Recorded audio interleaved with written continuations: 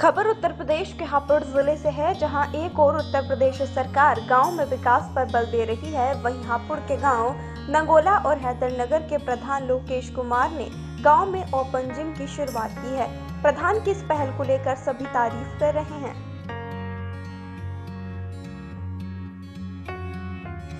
दरअसल ग्रामीणों के मुताबिक हापुड़ ब्लॉक के नगोला और हैदरनगर दोनों गाँव का एक ही प्रधान बनता है। नव निर्वाचित ग्राम प्रधान लोकेश कुमार की इस पहल से गाँव में काफ़ी उत्साह है और बच्चों से लेकर बड़ों तक सभी सुबह को जिम में आकर अपनी फिटनेस पर ध्यान दे रहे हैं। सभी ग्रामीणों का कहना है कि प्रधान ने गाँव में बहुत ही अच्छा कार्य किया है, जिसका सभी ग्राम वासियों को लाभ पहुँच रहा है। हमें तो बहुत फ़ायदा है। हम सुबह सुबह उठ के अपने रनिंग मार करते हैं। रनिंग के बाद यहाँ आकर हम अपने जो हमारे ग्राम प्रधान ने जो जिम लगवाई है, हम जिम करके यहाँ से हमें शरीर थोड़ा सा सही रहता है हमारा।